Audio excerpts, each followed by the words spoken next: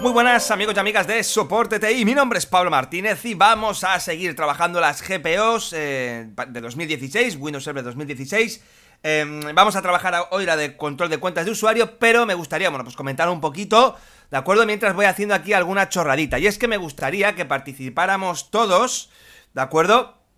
Para poder crear una GPO eh, de seguridad, una GPO de inicio, una GPO de seguridad, vamos a ver cómo lo llamamos, GPO seguridad general, por ejemplo.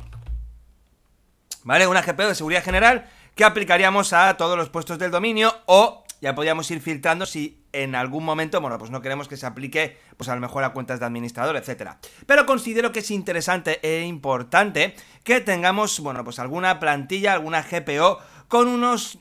Eh, con, con algunas configuraciones, pues digamos que podrían ser de aplicación en el 90, 95, 99% de nuestros clientes, como la que vamos a ver hoy del control de cuentas de usuario, creo que es importante. ¿Vale? vamos, a vamos a ir editando esto. Y bueno, pues ahora conforme editamos, me voy a ver. ¿Ya estás? Venga, perfecto. Os voy contando más chorradas de estas. Bueno, vamos aquí a configuración de equipo, directivas, Windows, a ver si me acuerdo. Windows, seguridad. Mira, el ratón sabe dónde es. Mm, mm. Locales. Seguridad, aquí están, vale, perfecto. Bien, aquí tenemos un montón de configuraciones o de directivas de seguridad, ¿de acuerdo? De hecho, si vamos un poquito atrás, tenemos asignación de derechos de usuario y directivas de auditoría. Aquí en la configuración de directivas locales, creo que es, eh, bueno, pues un buen conjunto de directivas que podríamos revisar y, bueno, pues estudiar si pueden ser de aplicación en la mayoría de los casos. Como comento, la idea general sería, pues, ya otra vez con vuestra participación, que entre todos podamos tener una o dos plantillas de seguridad, ¿vale? Que serán descargables, por supuesto, en soporte T-Pro para todos los suscriptores, bueno, pues para simplemente descargar y aplicar. Pero bueno, también que comentéis por qué ponéis una, por qué no las ponéis, o si no sois, eh, bueno, pues muy, mm, digamos, eh, proclives a, este tipo de medidas, ¿no? De, a este tipo de, de iniciativas, ¿no? Decir, bueno, vas a meter una directiva tal, no, porque luego es un problema, tal, o ¿Cómo lo veis vosotros? Bueno, yo voy a trabajar aquí, como os he comentado, tenemos estas del control de cuentas de usuario, ¿de acuerdo? Pues por ejemplo esta misma, control de cuentas de usuario, comportamiento a petición, tal, ¿vale? Le damos aquí, y aquí dice elevar sin preguntar, pedir credenciales en el escritorio seguro, pedir consentimiento en el escritorio seguro, ¿vale? Aquí ya podemos definir qué acción queremos que se lleve a cabo de cara al usuario. Pues por ejemplo, pedir consentimiento en el escritorio seguro, ¿vale?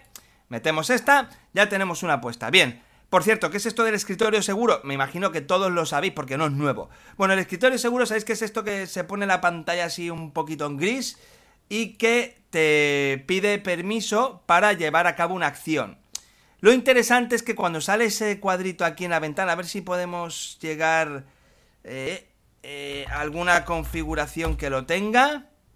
ver, como estoy como administrador, a ver, ver registros de eventos. No, esto sale el escudito aquí, pero no... Eh, antes era con el escudito, ¿eh? Los que tienen el escudito son los que te... Pero bueno, como estoy como super admin aquí, pues no me pide nada. Bueno, eso que sale la ventanita que te dice que si quieres permitir que tal, que cual. Bien, cuando sucede eso, lo que está pasando realmente con el sistema es que en ese momento se han parado todos los procesos del sistema, todos los que ha ejecutado el usuario e incluso algunos otros del, del propio sistema. ¿De acuerdo? Ahí se pararía todo. Y hasta que aceptamos o no aceptamos, el sistema se queda, que digamos, en un estado congelado. ¿Ok? Bueno, pues un apunte que quería hacer. Pero bueno, em, a lo que iba y a lo que voy.